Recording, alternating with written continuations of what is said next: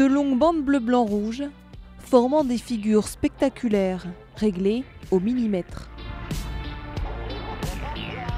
Chaque pilote tient entre ses mains la vie de ses collègues, alors forcément avant la grande représentation, des dizaines de répétitions minutieuses.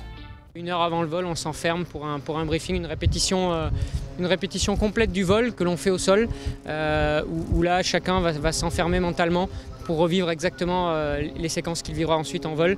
Et je dirais que jusqu'à jusqu'à ce que le moteur soit coupé au retour du vol, on est dans notre bulle et, euh, et on se concentre au maximum pour donner le meilleur.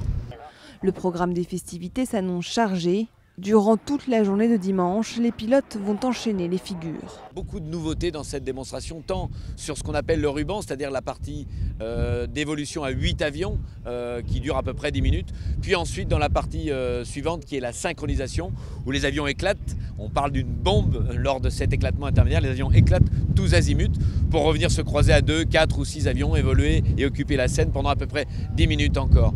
De nombreuses formations étrangères seront également présentes sur la base aérienne. 100 000 visiteurs sont attendus à Salon de Provence ce dimanche.